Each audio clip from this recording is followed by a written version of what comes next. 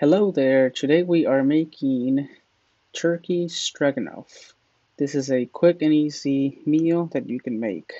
So we will need turkey meat or ground beef. Um, if you would like, you also need mushrooms, onions, garlic, sour cream, and wet noodles, wet egg noodles. Alrighty, so we are going to start by adding, by heating up your pot, adding olive oil, and adding the mushrooms. Um, with these mushrooms and all the ingredients, you're gonna have to gradually keep adding oil so that it doesn't get dry and then, you know, the food doesn't burn. So we're gonna add pepper, we're gonna add salt, and add as much as you would like or as less you would like as this is your meal. We're to stir it, let it cook for a few minutes. We're to add more oil as you can see because it does tend to uh, dry really fast. We're to add the onions, we're to add more oil, more oil, more seasoning. Basically this is up to you how you basically like it. Alrighty, we are going to add garlic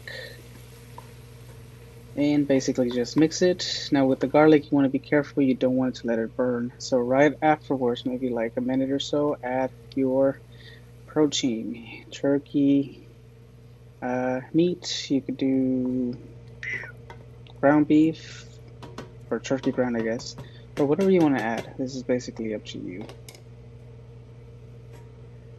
Go ahead and cover it and let it cook. Now we're gonna add onion powder garlic powder because there's not enough seasoning. Keep in mind you're adding, you're gonna add noodles, you're gonna add sour cream, so the seasoning is gonna mix very well, so you wanna add more. Here I'm gonna add paprika to give it a little kick, spice, and like I mentioned, add as much as you would like.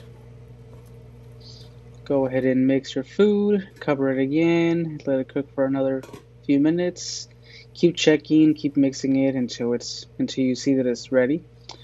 Um, and right about when the turkey meat is done, you want to add a whole pack of beef stock to give that flavor.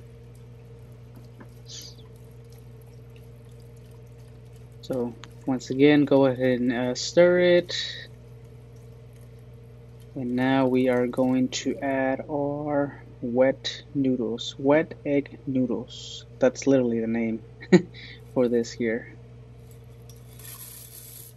And once again you want to add them in there. And you want to mix it up and basically cover the pan cover the pan cover the pot and let it um, simmer for about 15 minutes. Basically pretend you are cooking noodles by themselves, but instead you're cooking them with the actual meal. So I would say 12 to 15 minutes.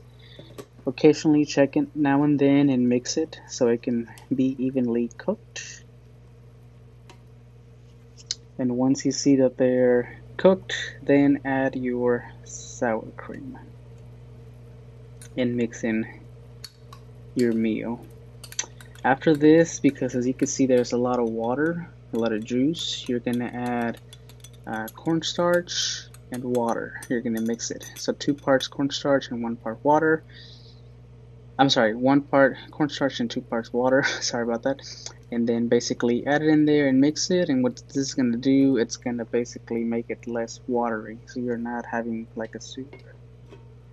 And let it simmer again for another five to ten minutes. Up to you. And here we are, guys. This is turkey stroganoff with mushrooms, wet egg noodles, spices, everything you can think of. Alrighty, guys. Thanks for watching. I hope this helps you out. Please let me know in the comments. Please like, comment, subscribe. Until next time.